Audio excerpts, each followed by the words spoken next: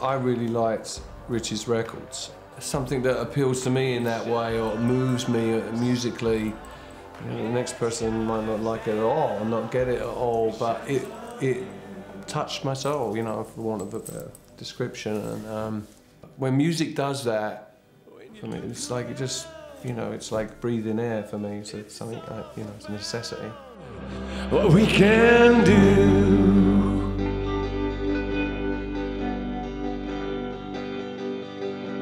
You and me. I don't understand a song until after it's written.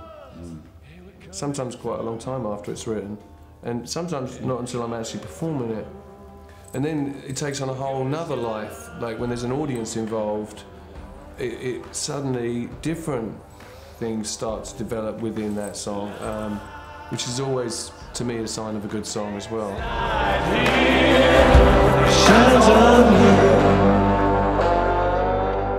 Shine was one of the first pieces that we wrote together for this record, Angels and Ghosts, and the song was developed from a guitar line that uh, Rich sent me, which was this very bluesy sort of slide guitar part. And I had this idea, this melody in my head that I'd had for a while. And I went back to my hotel room that night, and this, this, these words started popping around in my head, and I sent it back to Rich.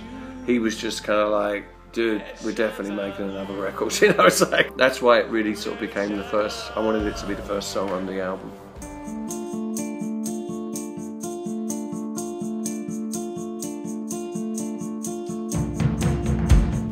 I think when I'm doing music, I always like to create a lot of space in the music.